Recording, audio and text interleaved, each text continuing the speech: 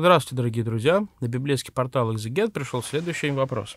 Кому внимать при молитве к Богу Отцу? Или к образу Иисуса Христа, или к Богу Отцу отдельно молитву творить, и к Иисусу Христу отдельно молитву творить?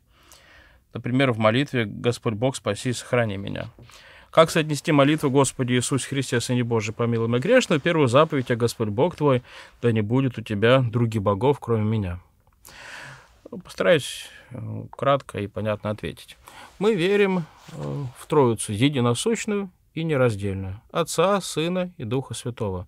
Трех личностей в трех ипостасей в единой природе. Каждая из этих личностей обладает этой природой одновременно полностью, полноценно.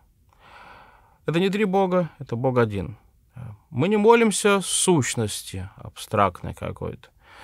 Мы молимся Господу Богу личному. Можем молиться Троице. Можем молиться Отцу, можем Сыну, можем Духу. Отца не видя никто же, нигде же. Сын единородный, сущий в лоне отчий, тот его явил. Бог есть Дух, и Отец Дух, и Сын Дух, и Дух Святой, Дух. Но две тысячи лет назад вторая ипостась Престой Троицы воплотилась и с человеке поживе. В божественную жизнь Престой Троицы вошла человеческая природа. И седя одесную Бога. Такими краткими словами описывается это неописываемое и несказуемое событие. Когда же ты молишься Богу Отцу или Сыну или Духу Святому, надо ли кого-то представлять? Игнатий Бринчанинов говорит, не вздумай, надо бы не сойти тебе с ума. И это будет настоящим идолопоклонством, потому что если ты представляешь икону или образ, библейский образ, или даже древнюю икону XIII века, которую недавно видел в Третьяковке или в каком-нибудь храме, и тебе так легко, представив икону, молиться, ты становишься как раз идолопоклонником, потому что ты уже молишься не в духе, а истине, ты молишься древу и краскам, изображению художественному, которого в уме своем представил. Христианин молится безобразно. Это важное, крайне важное составляющая правильной молитвы. Когда мы молимся перед образами, перед иконой, да, мы можем, конечно, молиться, видеть этот образ э, и, чтя его, воздавать честь первообразу, то есть уходить своими мыслями вот, за границу этой иконы. Даже обратная перспектива древнего канонического иконописания говорит нам о том, что икона смотрит на нас, а не мы на нее. Поэтому, а как же, скажите, как же молиться?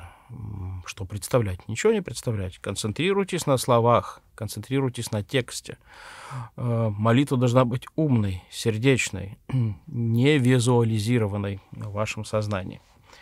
Ну, а когда кому молиться?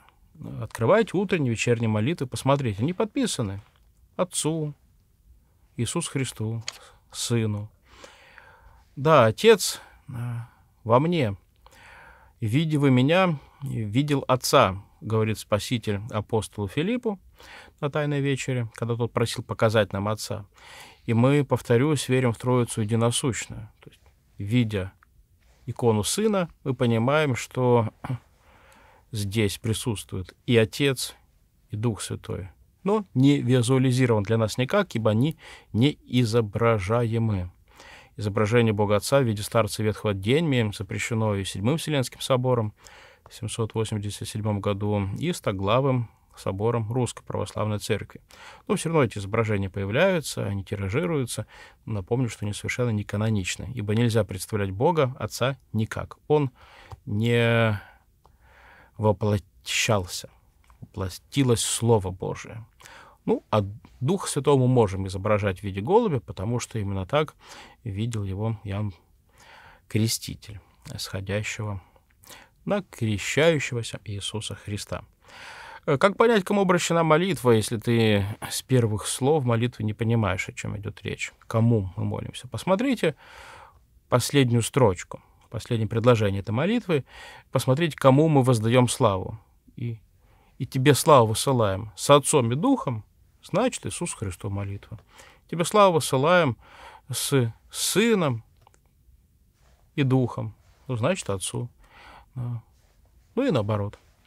Если вы видите прославление Духа Святого вместе с Отцом и Сыном, значит, молитва Духу Святому. Ну, а чаще всего они подписаны, на самом деле. Можете посмотреть. И представлять никого не надо. Э, просто помните, что молимся мы Троицы единосущной и нераздельной. И хоть они разделены по ипостаси, у каждой ипостаси есть свои особые, особенные божественные свойства, как рождение, исхождение привечное. Э, но тем не менее это один Бог, не три Бога. Троица единосущная и нераздельная. Аминь. Внеси свой вклад, оцени, подпишись и поделись этим видео.